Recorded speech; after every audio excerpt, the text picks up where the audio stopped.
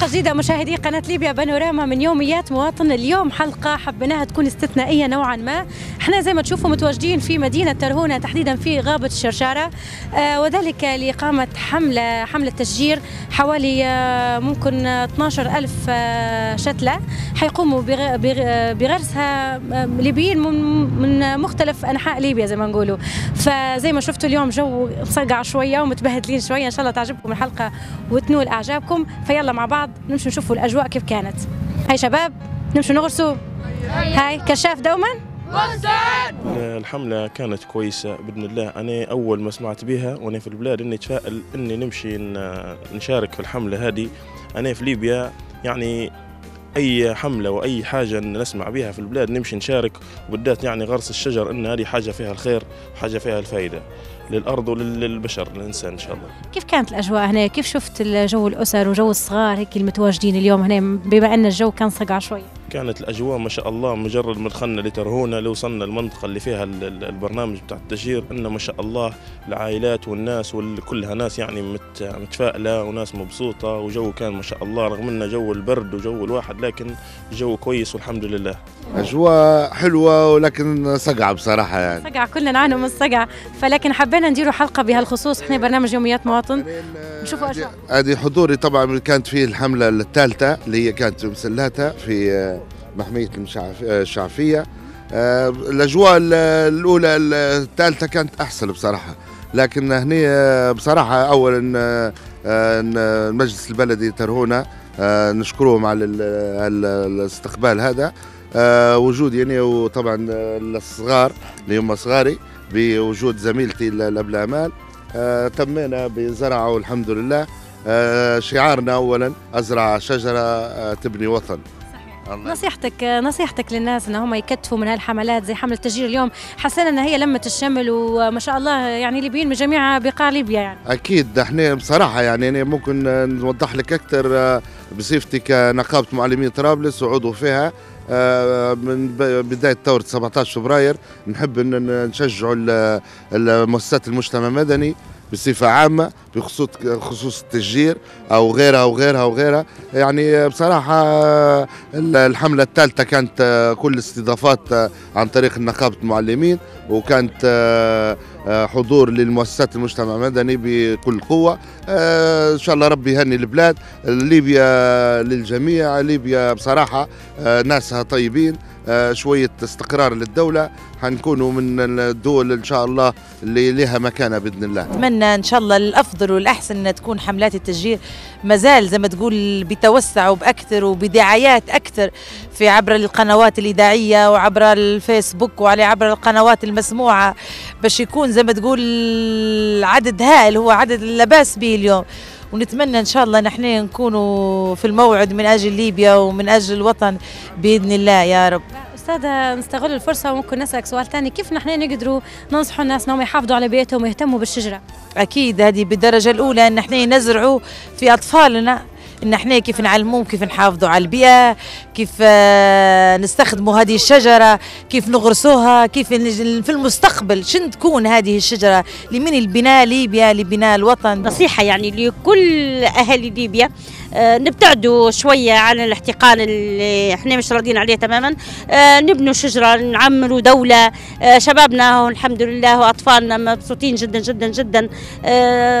ندعم كل ال- المنظمات في في مثل هذه الحملات ال- الرائعة ونقول لكم إن شاء الله بالتوفيق. كان جو حلو رغم إن هو الصقع لكن جو جنين وسحنا مسافة بعيدة ولكن استمتعنا وزرعنا شتلات في مدينة هنا وشرشاره وكان الجو حلو وصقع.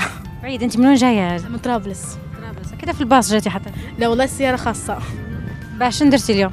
آه، زرعنا شتلات أربع شتلات بالنسبة لي أنا وباقي ال- آه، الناس اللي جايين معي حتى كل واحد زرع شتلين ثلاثة. والله الانطلاقة من طرابلس طبعا كانت هناك أمطار آه، غزيرة لكن هذه ما منعنتناش على أن اليوم متواعدين يوم التشجير وهذه السنة الرابعة طبعا الحملة وحبينا نشاركوا. ويا ريت يا ريت نتمنى من كل ليبي يشارك السنة القادمة ونتمنى أن المساحات الخضراء تزيد في بلادنا أفضل وأحسن يعني. هي شو نصيحتك للناس إن هم بالنسبة لموضوع الشجرة فائدتها فائده زراعتها كيف نحافظوا على البيئة متاعنا نتمنى من كل الليبيين بصراحة يعني الشجرة لها أهمية مش إن حتى تدفئة إنها مثمرة ان نستفيدوا بها. لو كان كل واحد يقطع الشجرة حرام يعني بصراحة ماذا بينا المساحه بعدين تؤدي إلى انقراض ال- المساحات الخضراء. يعني إحنا نتمنوا الحاجة يعني الشجر مثمر ونستفيدوا حتى منه. المشاركة كانت جميلة جدا. بالنسبة لاحظوا في ال- اليوم طبعا انطلاق الحملة الرابعة لحملة التشجير للأشجار في مدينة آه، شرشرة طبعا هذه مدينة شرشرة بلد ليبيا كلها الحبيبة كلها مش خاصة بترهونة ولا حد. طبعا لاحظوا فيه الناس كانت أجواء حلوة أجواء رائعة كلهم طالعين اليوم غرسوا بدري الصبح كل واحد مجموعة من الأشجار وطبعا الأشجار فائده غير عادية.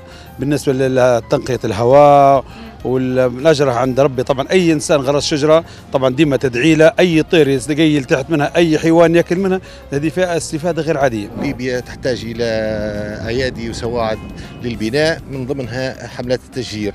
آه، فنشوفوا في ال- ال- الغطاء النباتي نتاع ليبيا تم فيه تعديات في السنوات الماضية لكن ثقافة التشجير يجب أنها ت- تطلع من جديد.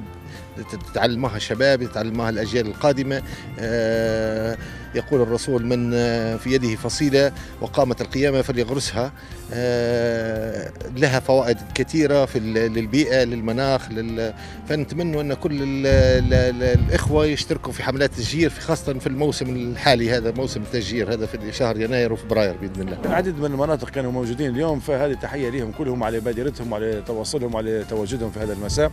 ونتمنى للجميع التوفيق ونتمنى من كل الجهات أن هي تحدو آه، حدو آه، مثل هذه الأفكار الجميلة اللي تدعو إلى لم الشمل تدعو إلى آه، زراعة الأرض وتشجيرها واخضرارها أستاذ أنور أكيد زرعت شجرة اليوم صحيح. باهي نصيحتك للناس كيف تحافظ على الشجر؟ كيف تحافظ على البيئة بصفة عامة؟ والله هذه شيء معروف يعني إن إحنا المفروض نحافظوا عليها. إحنا بدل نروا يعني الفساد سهل يعني إحنا نقطع أشجار في في في ساعة تقطع ألف شجرة لكن باش تنبت شجرة يعني أحيانا تبي سنوات وتبي إمكانيات وتبي ظروف وطقس وتضاريس والأمور هذه كلها يعني. فهذه دعوة للجميع لحماية الأشجار وحمايه اخضرار أرضنا لأن هذا كله لينا وللأجيال ال- القادمة إن شاء الله. هي الجو سقع لكن مليح لكن إيه ولكن المرة اللي فاتت متاع ما- مسلاتة لكن كانت أحسن من تو كانت أحسن. علاش؟ لأن سقع ولا شنو؟ لا هو سقع كان شتاء في زقاز لكن آه، ريح أكتر توا وأحسن آه، وأنت هاي شنو اسمك؟ حسام مصدي من جاس حتى انت أنت اخوها صح؟ نعم. شنو تدير أنت تو نغرس شجرة باهي شنو شنو الفايدة من نحن نغرسوا شجره شنو الفايدة منها؟ ما قريتوش في القراية شنو فايدة الشجر؟ شنو هي تاخذ في ثاني أكسيد الكربون وتعطينا الأكسجين اللي إحنا نتنفسوا فيه؟ صحيح. باهي كملوا هاي نكملوا ساعتكم شوية. مشاهدينا الأعزاء شفنا آراء الناس وأجواء الناس كيف كانت لي هالحلقة الاستثنائية. آه الأجواء كانت جدا رائعة رغم انه مطر وصقع وهالظروف هيك تعبتنا شوي لكن الحمد لله الأجواء كانت جدا رائعة وأنا مسرورة جدا أنا جت من طرابلس لترهونة وغطيت هالحدث. آه تقبلوا تحياتي وإن شاء الله يا رب الحلقة تكون نالت أعجابكم واستنونا في حلقة جديدة وسؤال جديد. إلى اللقاء.